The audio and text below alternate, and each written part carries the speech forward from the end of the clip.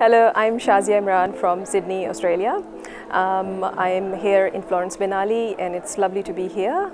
And uh, at the moment I'm exhibiting my work um, uh, which was based on um, the topic art and polis and uh, I've gone one step beyond and um, I was here in 2014 in Florence and I've also included not only um, the topic but also my experiences as a, an artist coming to Florence and I was fascinated by Florence. Um, and I tried to include not only the life and environment, and to me Florence looked like an interwoven city, so I tried to depict that into my artwork as well. So at the moment I'm presenting two um, paintings, mixed media paintings.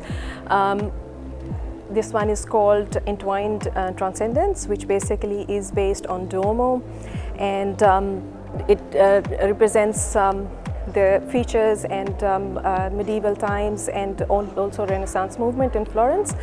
And uh, as I said earlier, my own experiences in Florence and uh, because I do work on mixed media and do layer by layer, so it actually represents um, uh, that.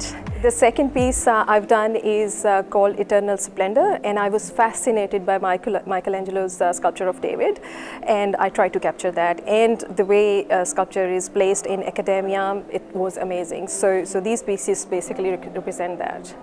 Um, I'm a sculptor and painter and uh, nowadays uh, my body of work is mainly mixed media which actually combines a lot of um, layers, a lot of techniques, a lot of materials and um, for example in these pieces as well I have actually included layers, different layers um, and which depict different you know sort of um, my personality as well.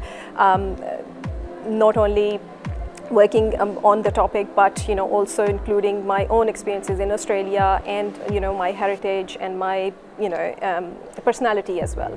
So that worked very well with these um, kind of pieces for me.